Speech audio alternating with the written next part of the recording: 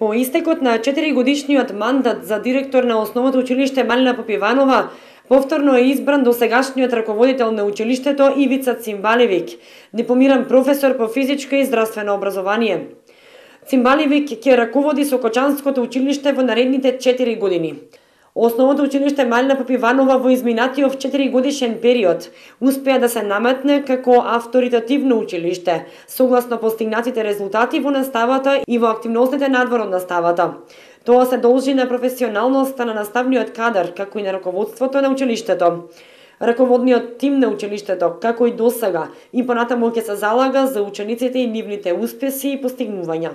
Акцент дадовме на и на учениците кои покажуваат особен интерес и успех во наставата, а тоа рефлектираше на републичко, сега се трудиме на меѓународни надпревари да настепуваат по наставните предмети на освојување на високи места.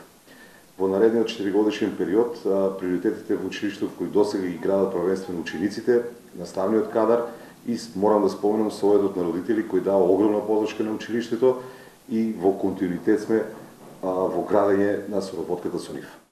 Одлуката за избор на директор на училиштето ја донесе градоначалникот на општина Кочани по предлогот на училишниот одбор на основното училиште Мална Попиванова.